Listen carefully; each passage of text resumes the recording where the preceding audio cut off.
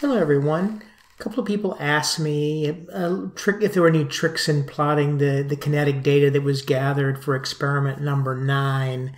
And I thought I had a video in place, but I couldn't find it, so I decided to quickly record this one. So I pulled a data set out. This was some ex experiment that uh, I think I did a while back with a former TA that was working on some of these things. So here's the data. I just want to go through a little bits of little parts of it. This area right in here, as you know, is the uh, standard data. I'll just go and highlight that in yellow. And this this data right here is the data from the mutant enzyme. And this is the data from the wild type. Uh, this sorry, this is the mutant data here. So this is mutant data, and this data right here is the wild type data, and I'll make that kind of gray. So I, I, a lot of times I'll just go ahead and as I've done before, I've just kind of colored things so I, I kind of know where things are. These are blanks, and these are hydrolysis blanks, and um, in some cases it might be useful to use these, but let's not this time. So what I'll do here is the concentration of the standard started at 500 micromolar. So I just put a 500 here, and then I'll just do the same thing I've done in the past is equal to this divided by 2, and then I go ahead and copy that down to 125 or 6.25. See, it's 2.5. I think it's only four samples. No, it's five samples. Okay, here we go. There's the blank, okay.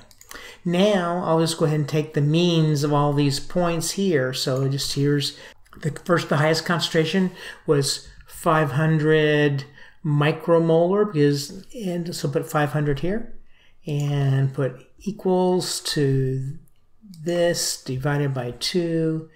Go ahead and that's 250 and we'll drag it down to here that right? Okay, it's down to here.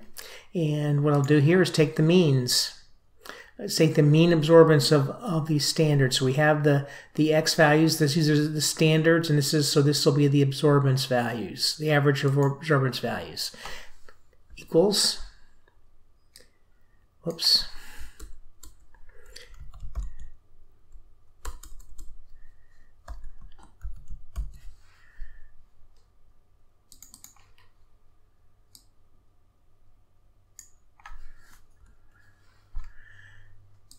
and just drag that down.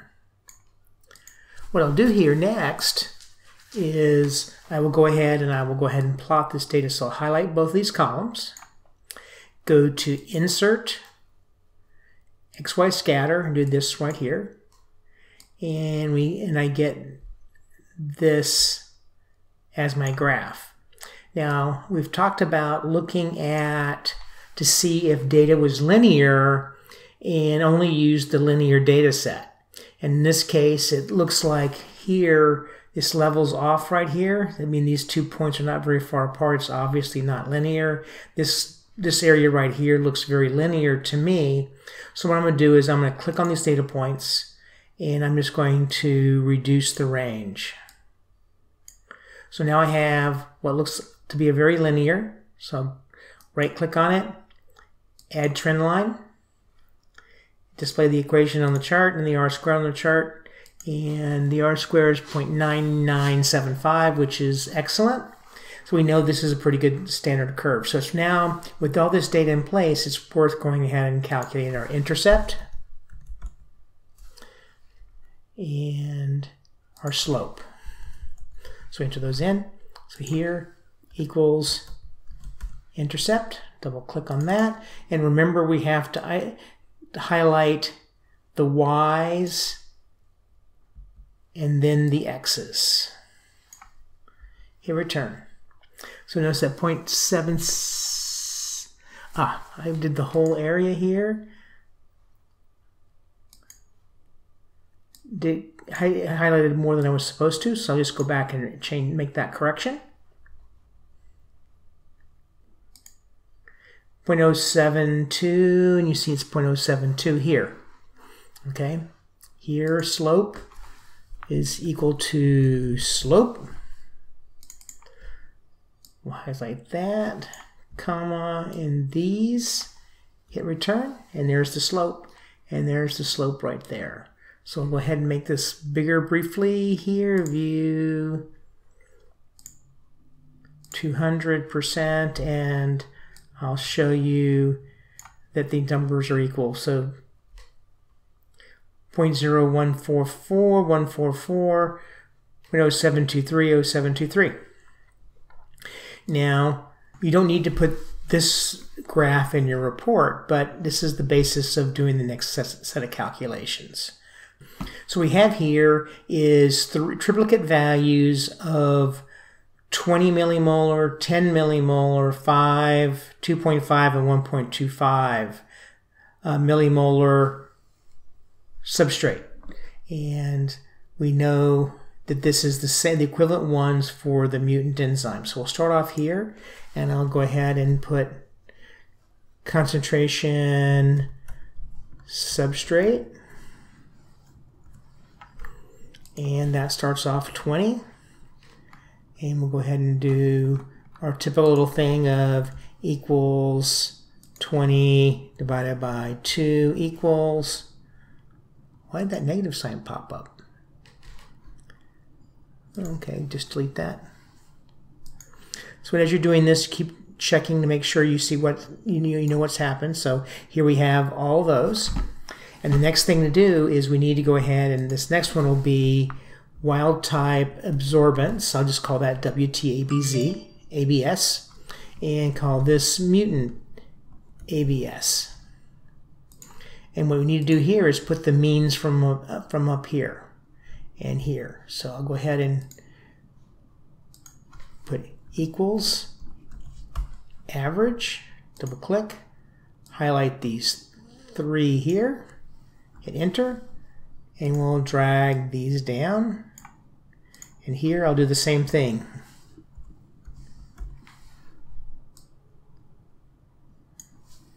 Oops. Not sure what I did wrong here. So put equals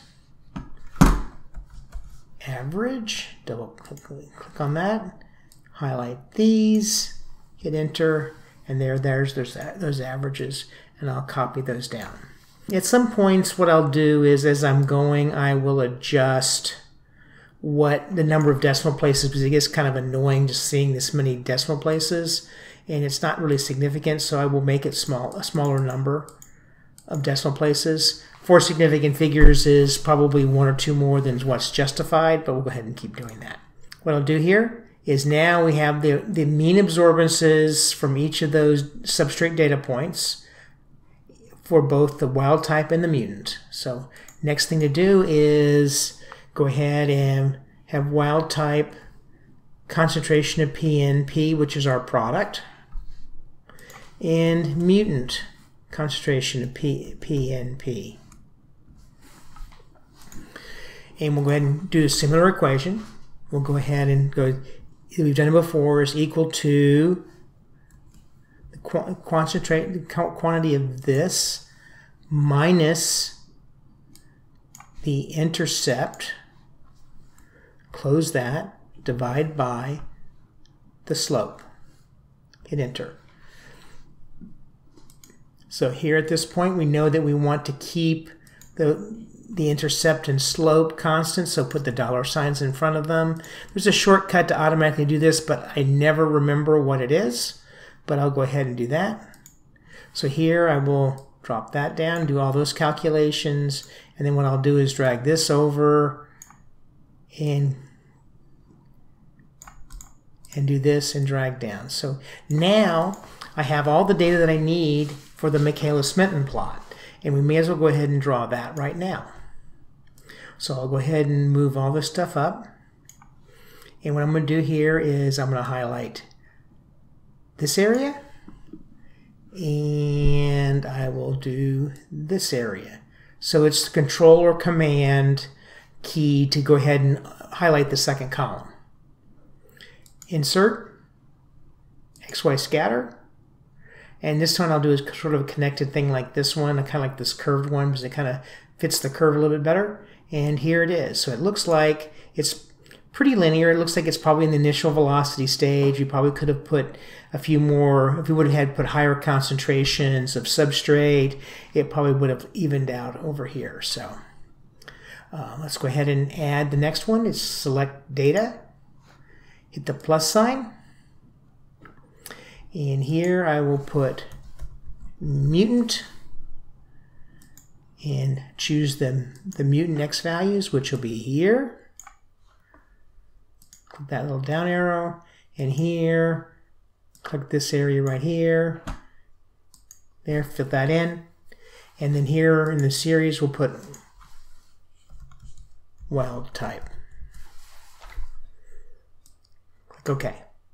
So now we have Michaelis-Menten plots. And they both look very, very similar, which from looking at the, if you, if you remember here, looking at this data, these, these data are not that different. And so it kind of makes sense that they would look very similar. I know some of you got very different kinds of absorbances and things like that. So your data will look a little bit different.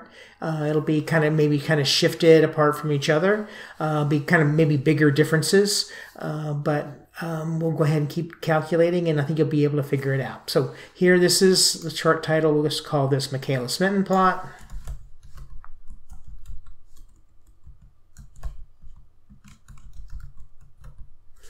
Michaelis-Menten plot. And, you know, and for your report, I want you to go ahead and put like concentration of PNP, micro and micromolar, and the millimolar concentrations of PNPP down here. I'm not going to do this for this video. So I, I think, I suspect that all of you guys know how to do that already. Well, now we need to go ahead and do a Lineweaver-Burk plot so we can get our KMs and Vmaxes. And so what I'm going to do here is, the first thing we need to do here is 1 over the substrate concentration. And we'll do 1 over the wild type concentration of PNP. And the next column be 1 over the mutant concentration of PNP. So I have those in there. So now it's a matter of just doing that little, doing those little calculations. Here it's equal to 1 divided by this number. Hit enter. And we'll just go ahead and drag these down. And as you know, the, the larger number is going to, with the reciprocal, is going to give you a smaller number. So remember, so the highest concentration will be closer to the y-axis, and the lower concentration will be further from the y-axis on this plot. So here we'll go ahead and do these as well. 1 divided by this equals that. We can drag that down this way, and then we can drag it across this way, and we have everything all nice and calculated, right? Let's, let's, let's delete that. I don't, that doesn't look right. One here, one over, oh, I'm sorry, I, I copied the wrong column. Go ahead and delete this. It's equal to 1 divided by the concentration here. So keep looking at your numbers. Those numbers didn't look right, and that's how I noticed I made the mistake. So here I do this one is equal to 1 divided by the concentration of mutant PNP, and copy that down. So now we have 1 over S is a column, 1 over the concentration of PNP produced per concentration for the wild type and for the mutant. So now let's go ahead and generate the next graph. And we're going to go ahead and what I'll do is I'll highlight these two areas. Do go to Insert, XY Scatter, and I'll pick this one with no points because we're going to put a trend line in. And here we go. Uh, let's go ahead and scroll down here and go over here a little bit so we can still see these numbers and record things here. Put this down here. So we see a nice little line here. What I'll do is go and put the trend line in, click on that, right click, add trend line, and well, we wanted to go ahead and I, want, I always like to see the line going past, so you need to go ahead and make that go back uh, maybe 0.2 units. That looks good. Probably maybe point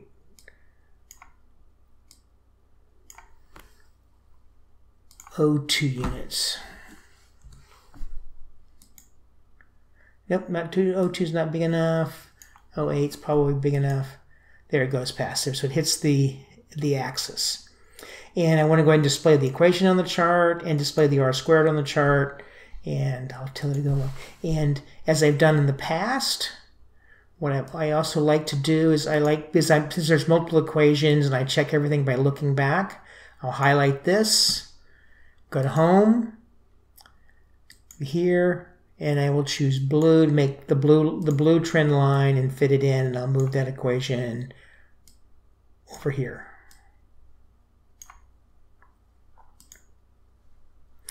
Now we need to go ahead and add the mutant data in. And we'll go ahead and do that here by having the chart highlighted. We should see in chart design, we can see select data. And what I'll do here is I'll go ahead in the series one, I'll just go ahead and put wild type. And in here, we'll go ahead and click the plus sign to add a new series. We'll call that mutant. We'll click here to get these values. And click here. We'll go ahead and highlight these values and click OK. So we now have another data set, set of points. Let's go ahead and right click on it, add the trend line, nice and yellow. Let's go ahead and have that go back by 0.1. I think it's probably enough. Display equation on the chart and R squared on our chart. So we'll tell that to go away. And then here we'll highlight these, go home, here, go to, that's probably this dark orange right here, and we'll move this over to here. So we know that what these equations are. So we have these equations, we've already determined, let's go ahead and change this to Lineweaver Burk.